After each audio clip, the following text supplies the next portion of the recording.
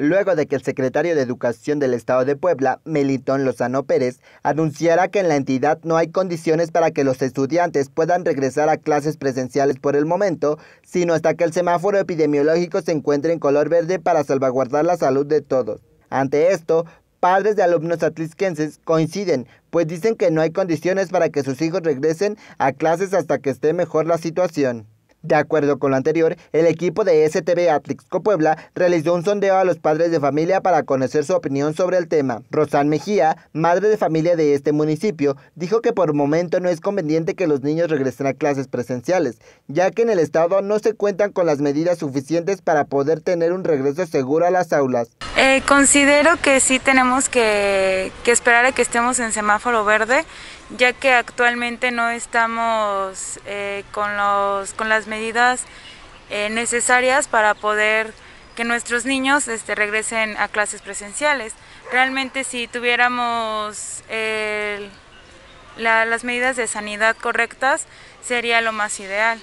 Me parece que en Saltillo ya habían regresado los niños a, clases, pero sus medidas realmente son, son buenas. Aquí en el estado de Puebla creo que que las medidas de sanidad no las hemos puesto o actualizado para que nuestros niños puedan regresar. De igual manera, mencionó que para ellos esta nueva forma de impartir clases ha sido de mucho aprendizaje para ambas partes, ya que tanto papás como hijos aprenden al mismo tiempo.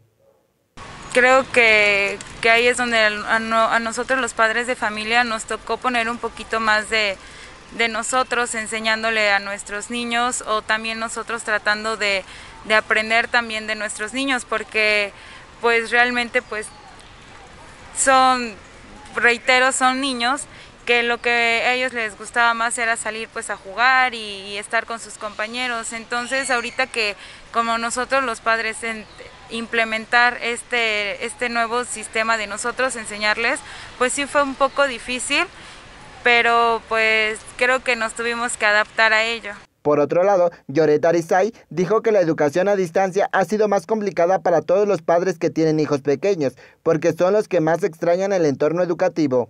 Pues sí, un poco difícil, pero pues yo creo que más difícil con los niños más chiquitos, ¿no? Yo la verdad no tengo niños chiquitos, mi hija ya está grande, no hay ningún problema. De acuerdo con la Secretaría de Educación Pública en Puebla, con el sistema de educación a distancia, están garantizando el derecho a educación de las niñas, niños, adolescentes y jóvenes. Esto a pesar de que los datos emitidos por la UNESCO en México 24.84% de los estudiantes entre 7 y 17 años no tienen acceso a Internet y 4.47% no cuenta con una televisión, por lo que no pueden estudiar a distancia durante la contingencia por COVID-19. Cabe mencionar que el regreso a clases presenciales en Brasil ocurrió en febrero de este año, lo cual fue fatal para Ana Clara Macedo dos Santos, de 13 años, quien se contagió de COVID-19 y murió por complicaciones derivadas de este virus. Para STV Atlixco Puebla, Rigoberto Santos.